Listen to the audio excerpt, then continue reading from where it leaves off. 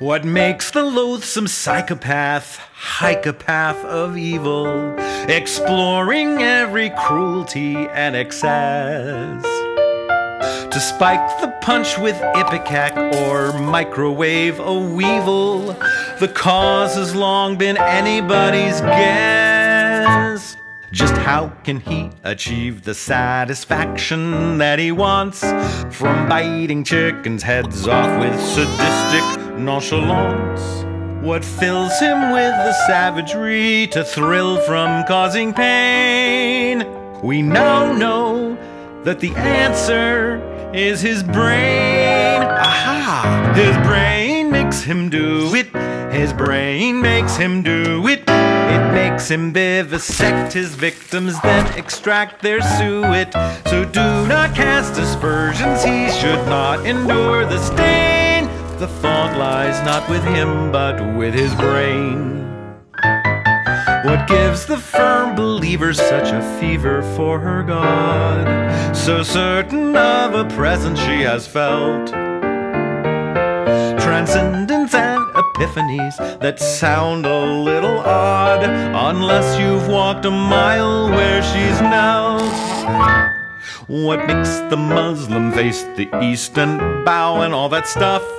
What makes the born again convinced that once was not enough? What gives the faithful one the faith her faith will never wane? A familiar aberration of the brain, that's all. Her brain makes her do it, her brain makes her do it. The God spot in her cortex gets a neural impulse to it. Religious feeling science heretofore could not explain. But now we found the G spot in her brain. Do I really feel and think and mean what I hope I mean? Nope. It's only serotonin or adrenaline and a dopamine. Every notion or mood, passing thought, attitude that I have or forget or repress or memorize can be best understood just by scanning my brain with a series of MRIs. What makes the newly amorous so clamorous and wild to feel they fit each other like a glove?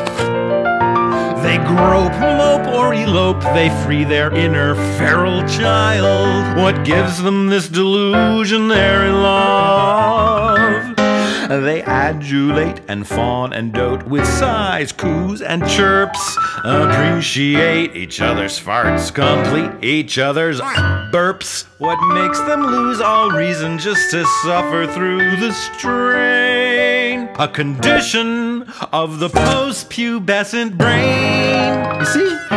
The brain makes them do it. The brain makes them do it. It gets gonads to go pituitaries to to it. And everything that feels romantic really is quite plain. The part they call the heart is in the brain. Oh, your brain makes you do it.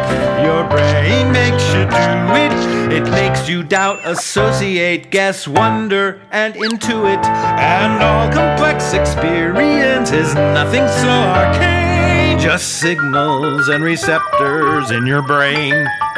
And if you think this explanation sounds a bit inane, don't fret your pretty head, that's just your brain.